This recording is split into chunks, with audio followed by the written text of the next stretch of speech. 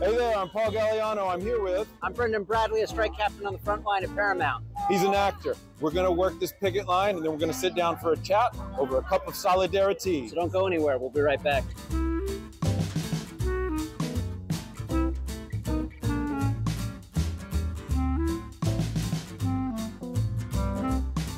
Every actor gets their start in different ways. Sure. When I first moved here, I was doing background acting, and I know that that's what you did as well. Yeah. I'm happy to see so much solidarity uh, from background performers as well on this because in my discussions with them, I feel like they are being seen and represented well this time, where sometime, sometimes in the past they do not feel that way. So the background actors are being represented in this discussion where, you know, like no scanning and then paying $150 right. for the day for use of your likeness and right. perpetuity. Like that's insane. So what words of inspiration do you have for anyone out there getting a start or who's getting into background work? You started there too. Absolutely. I did too. And yeah. look at the credits you've built sure. now. Well, I, I think that it's always been an entry point for our industry. You can walk onto a Hollywood set and you can watch stars do their work and crew do their work and learn in a lower stress environment and be paid yeah. to do that. So I got my start as a background actor, got my five waivers to be able to join. I then was a stand-in actor for a long time. I did some stunts slowly got you know that first co-star, that first guest star. Yeah. Built built my a lot of indie film, a lot of student film, uh, and built my way up. We and do it all. We do it all. That's what, and, and we return to it. It doesn't.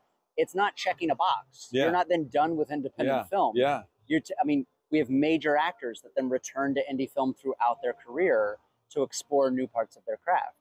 And I've returned to. I've been a background actor in Friends projects. I've held a boom in Friends projects. Uh, you know, we help each other out artistically and holistically. But I think what's remarkable, what we're feeling in this strike, and even leading up to this strike, is a new generation of performer, of community, of solidarity, Mhm. um, and even un- union literacy. And I know that in the past, we unfortunately had leadership that believed we needed to really pick like four core issues that we were going to take in a negotiation. But we didn't want to come with too many things because we were, it was going to be very hard to negotiate. And so we, we didn't want to make our list too long. Um, and in this negotiation, what I'm so proud of our negotiating committee for doing is showing up with a laundry list from not just background actors, for example, but also dancers, singers, stunt performers. We're pushing for motion capture work to be treated as qualifying work. As it should. As it should. And so nothing was left unsaid or untouched in our plenary this time in our W&Ws. And we really went in with a full list of everything that hasn't kept pace for a 2023 contract. And I'm so proud of our leadership and our negotiating committee.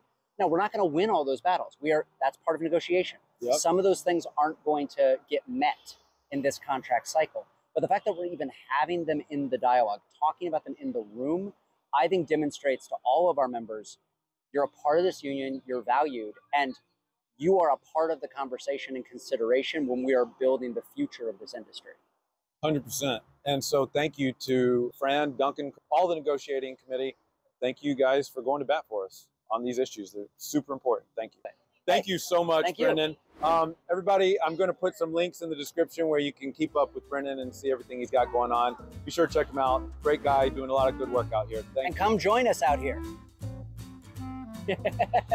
we have Um, Arnold Palmer.